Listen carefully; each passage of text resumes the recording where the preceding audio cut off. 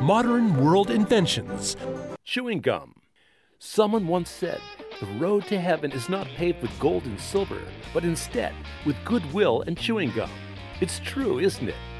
From Wrigley's mint chocolate chip ice cream flavored chewing gum to the non-stop mint by Stride, chewing gum has clearly stretched a long way from its early Neolithic period existence in Kierikki, Yli-Ii, Finland, about 5,000 years ago.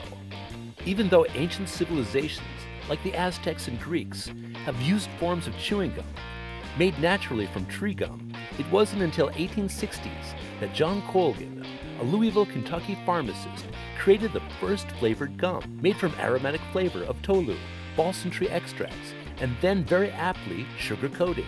He named it Taffy Tolu.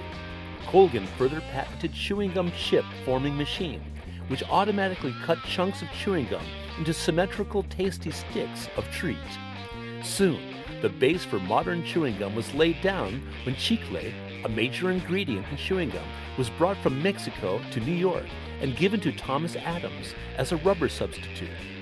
Although chicle made poor substitute for rubber, it didn't stop Adams from cutting it into strips and marketing as Adams New York Chewing Gum in 1871.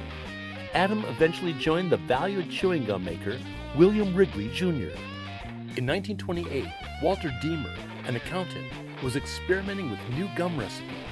He found something that was less sticky than regular gum, but retained flavor for longer. The hugely successful gum was called Dubble Bubble, since it had a stretchy texture, aka the world's first bubble gum.